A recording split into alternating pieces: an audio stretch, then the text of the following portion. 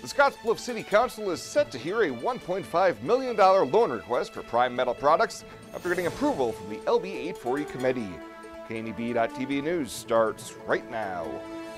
From your trusted source for news in western Nebraska and eastern Wyoming, this is KNEB.TV News. Presented by Platte Valley Companies, premier provider of financial services. Hello, I'm Ryan Murphy. This is KNEB.TV News powered by Platte Valley Companies. Thanks for joining me.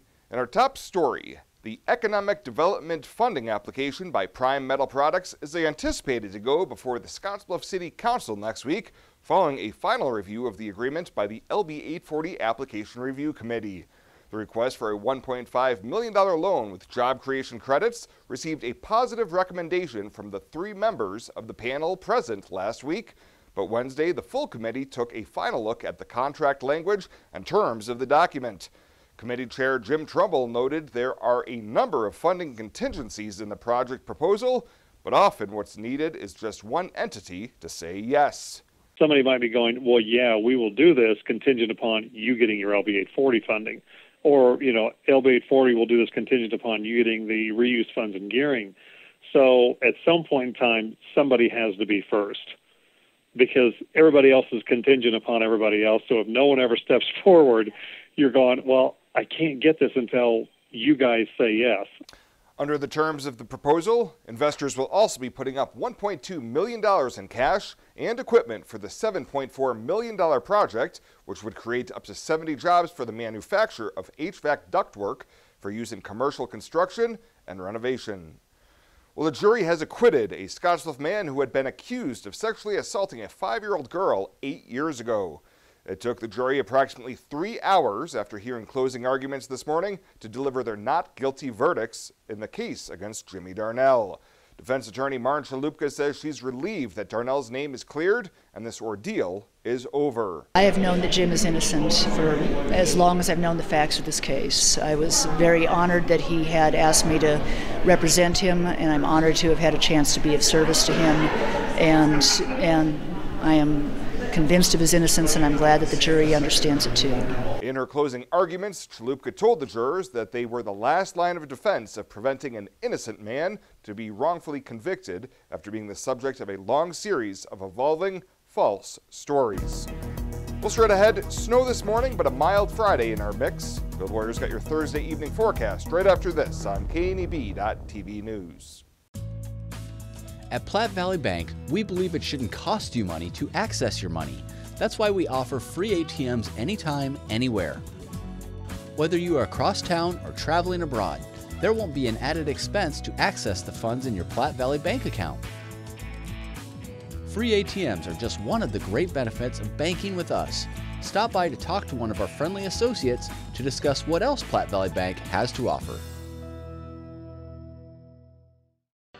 At Elite Physical Therapy, we provide preventative and rehabilitative treatments that maximize function and promote well-being for patients of all ages.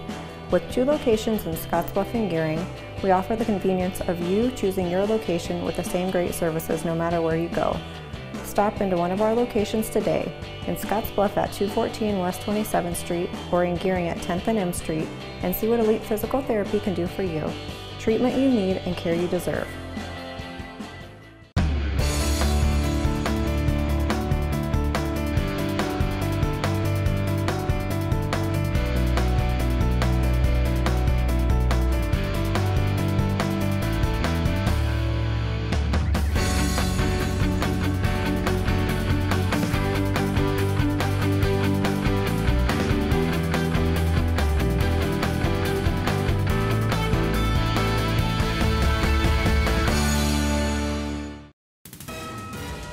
This is KNEB.TV weather from the KNEB Storm Center, your trusted source for weather. Well, as we take a look across the area this evening, we're going to be dealing with clear skies and winds settling down in that 5 to 10 mile an hour range. Really not a bad looking night at all. So we're going to just call it clear and quiet across the area. Now, as we go into tomorrow, temps are going to be much warmer tomorrow and really Friday or Saturday into Sunday stay fairly nice as well. Breezy to windy at times, though, and then some snow is going to be possible by late on Sunday. Yesterday, we hit 36 after a morning low of 17. Look at that low back in 1899 at 45 degrees below zero. Two hundredths of an inch of moisture from some of that snow. So we're at uh, about uh, about normal for the month and still uh, less than half of where we should be for the year so far. And we do have a couple of things to uh, be concerned about, and that's some high wind watches. These are over here in the wind prone areas of Wyoming. We'll zoom in and show them to you. Areas generally west of I 25, again, and uh, between Cheyenne and Laramie, and then also south of the Medicine Bow area in that summit area of I 80. Going to be dealing with some very strong winds as we go through the day tomorrow and really on into Saturday as well. Boy, look at this cold air. It's entrenched here to our north and east. Watertown at 11 below. It's 4 below in Sioux Falls. Moderates to the teens in eastern portions of Nebraska. Then 20s to near 30 here in our area. And then, of course, cooler as you would expect it up in the mountains. As we take a look here in our region, close to 30 in a few locations. Wheatland hits 30 right now, 29 in Scottsbluff, 25 in Sidney. Winds are light. That's the good news. Under 10 miles an hour, so we're not dealing with too bad in the wind department and wind chills, primarily in the teens to near 20 degrees. Let's take a look at our bus stop forecast tomorrow. If you're heading out on Valentine's Day, sunny skies when you get on the bus. Temperatures in the low 20s and just a few clouds on the way home, and 55 for your afternoon temperature. Yeah, that, that was a 55 out there. Nothing doing tonight. Clear skies all across the region. Winds are going to be fairly light. Temperatures are going to fall, though, because of those clear skies and calm winds. We'll drop into the teens. Really not too bad, though, for this time of year. Then tomorrow, we're really going to have a, just a, full, a day full of sun. Some very light cloud cover sneaks in in the afternoon. You'll see a few pop in. And then late tomorrow afternoon and evening, here comes a little cloud uh, cover back in off to our north and west, but that's really about it as we go through tomorrow night into early on Friday morning. Look at these temps tomorrow, closing in on 60 in a few areas, low to mid 50s. Might this might be a little too aggressive. We'll just have to see with some of that light snow cover that's on the ground. Nothing coming here the next 36 hours. But as we take a look out into the extended forecast, we do have a couple of different model solutions to show you. Let's talk first here. Uh, we'll get past uh, tonight and we'll show you the European model. There we go. Uh, the European model for snow.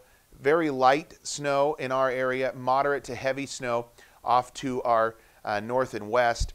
And as you can see, uh, some light snow is really all that's being picked up here. Moderate to heavy snow uh, in the high country.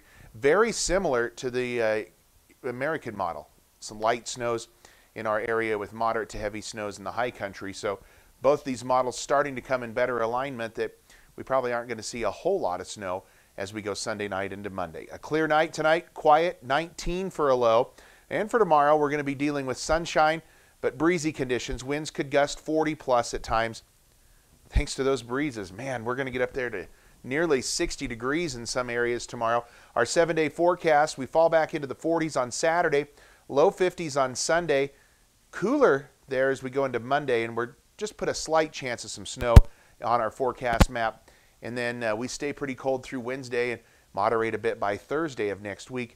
No big storm systems on the horizon for the next seven days.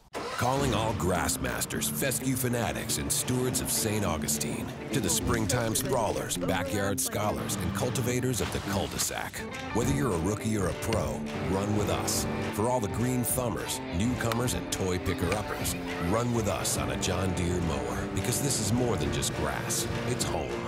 Nothing runs like a Deere. Visit 21st Century Equipment in Alliance, Torrington, Scottsbluff, and Bridgeport, or visit 21stcenturyequipment.com. When we combine our energy, we're able to accomplish incredible things and take on the greatest challenges. We're stronger than we could have ever been alone because our energy works better together. Tri-State and My Roulette Company. Brighter, stronger, better together. At TC and More in Scotts Bluff, we believe it's the little things that make your house a home. Start with home decor. Brighten up any room in your house with flags, wall decorations, and custom art pieces. Next, brighten up your wardrobe with clothing and accessories like jewelry and purses from the Myra collection. And remember, seniors and military members receive an additional 10% discount. Visit our website, tcandmore.com, and like us on Facebook, TC and More, 1621 Broadway, beautiful downtown Scottsbluff. Every cookie sold in the Girl Scout Cookie Program helps girls learn lifelong lessons in people skills, decision making, money management, goal setting, and business ethics. It's amazing how much you can learn from a cookie. The Girl Scout Cookie Program. Think outside the box. Welcome back. A 48 year old Scottsbluff man has been sentenced to three to five years in prison after getting caught with more than 12 grams of methamphetamine during an August probation, probation search of his home. Vincent Throckmorton was sentenced this week to the three to five year prison term on a conviction of distribution of a controlled substance after pleading guilty to the amended charge back in December. That sentence will run concurrent to the 12 to 24 month sentence handed down in October for violating the terms of his probation on a 2017 meth distribution conviction. He had initially been sentenced to three years of probation in that case. Throckmorton received credit for 176 days already served. Well, District 47 Senator Steve Erdman of Bayard has announced this week that he will be seeking a second term in office. Erdman filed paperwork this week in front of Secretary of State Bob Evnen as Erdman wraps up the last year of his four year term. In a release, it says that he has been fighting hard for property tax relief for constituents in District 47 and beyond. Prior to serving in the Nebraska legislature, Erdman served Morrill County on the Board of Commissioners. And the University of Wyoming Board of Trustees is meeting this week to interview semifinalists for the UW presidency and discuss terms of employment. The Board of Trustees received a list of semifinalists from the UW Presidential Search Committee last week, and following this week's special executive sessions, the board intends to select approximately three finalists who will be publicly identified and invited to come to campus for open sessions with UW stakeholders during the week of February 24th. Interviews of the finalists would be February 27th, with the board anticipated to extend an offer to the successful candidate by March 2nd. The new president is expected to be in office by July 1st. Well, straight ahead, Chris Cottrell heads to WNCC to talk Cougar basketball with coaches Gibney and Fahringer. We'll be back at the sports desk right after this.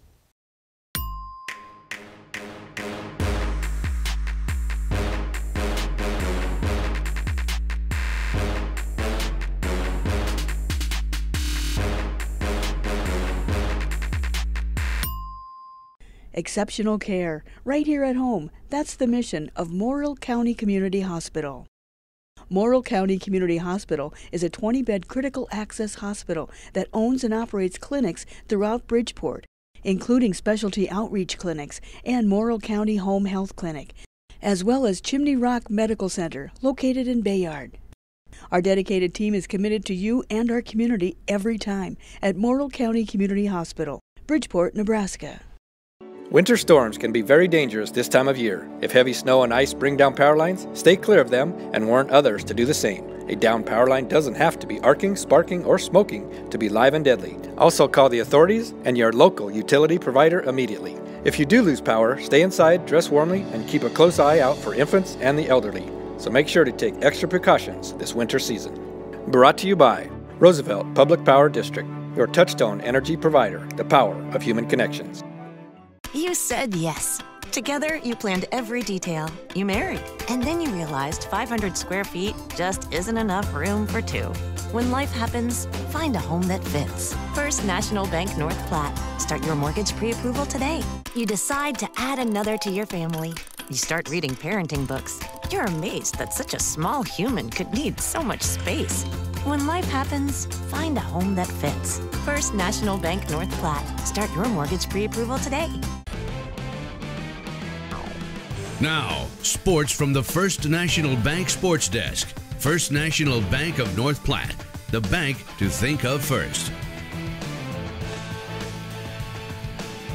We've got a big night of basketball coverage coming up tonight here on the Rural Radio Network. that includes doubleheader coverage yeah. from Cougar Palace right here on KNEB.TV with the WNCC women's and men's teams playing their regular season home finales against NJC. For the Cougar women right now, they've won 20 straight games after an 18 point win over at EWC on Tuesday night. Earlier this season, the Cougars went on the road and beat NJC in Sterling. Yeah, uh, NJC, they've got a really nice team again this year. Uh, they gave us a really tough game down at their place, uh, and so they've got they've got two guards that can really, really drive it and get downhill that we're going to have to keep out of the paint. Uh, you know, and, and, then they're a really good offensive rebounding team.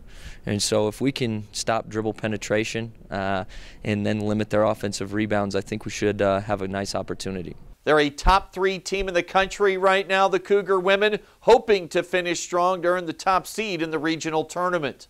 Yeah, I mean, we're, we're trying to just take it one game at a time and, and keep this thing rolling in the right direction. Uh, you know, we've, we've won 20 consecutive games, and so that's been, you know, an incredible accomplishment. Uh, and, and we're just going to try and keep it rolling and, and make sure we take it one game at a time.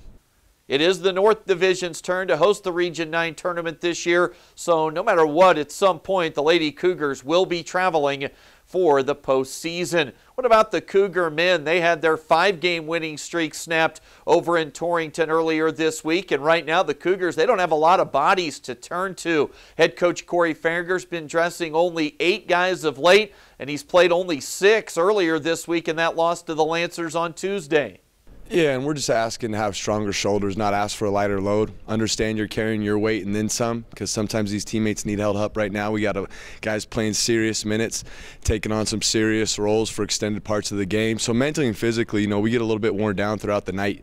Um, but I appreciate our guys' effort. I appreciate that they continue to show up and they continue to be competitive night in and night out for Western Nebraska will be a tough one tonight. NJC on top of the South standings. They are in position to host the regional tournament, but the Cougars made it tough on them in Sterling, losing by just three you know, we'll let water find his level. We'll let God do his work as far as how this thing plays out and where we're seated at. Most importantly, we're trying to play our best basketball still.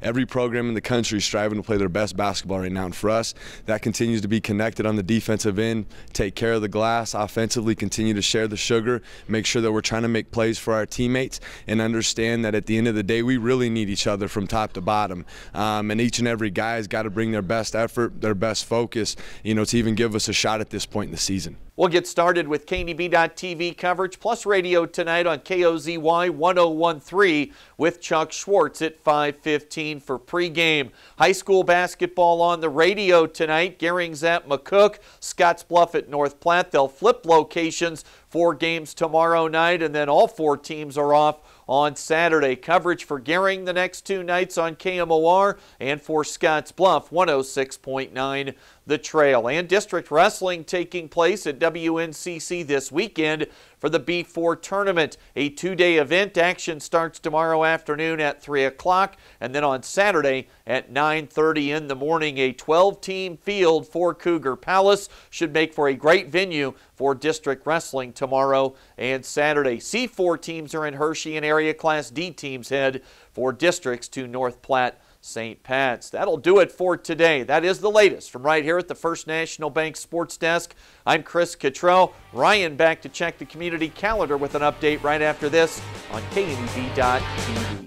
Hey, it's Angela from Tuxedos and Men's Formal Wear by Angela's. You know you can count on us to dress you upright for those special occasions, whether you need a business suit for the office or a formal tuxedo for the wedding. We offer several options from full ensembles to individual pieces with a customized fit. Whether you're looking to buy or rent, I'm here to offer you that one on one customized service on your time schedule. Now with the option to be mobile. Call me today at 308 635 0001. That's Angela's at 308 635 0001.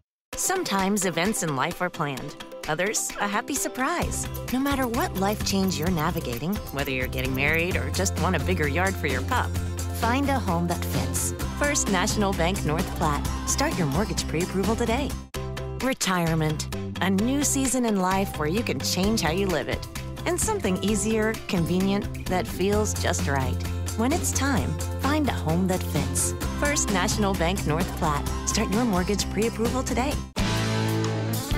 When it comes to helping local folks with the loans and financial advice they need, we don't horse around.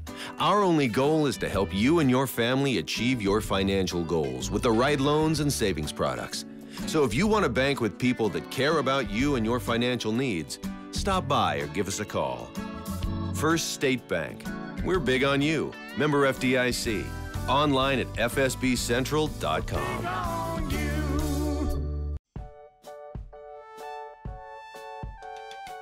Well, let's take a look what's happening on today's community calendar.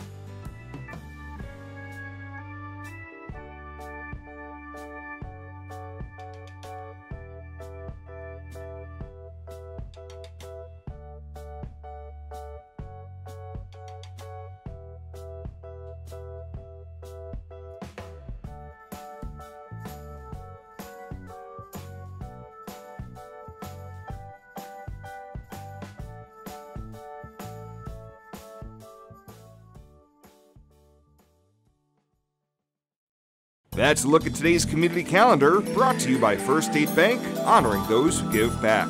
Nominate your community champion at fsbcentral.com. At Compliments for you and your home, we're not ready to take down Christmas decor quite yet.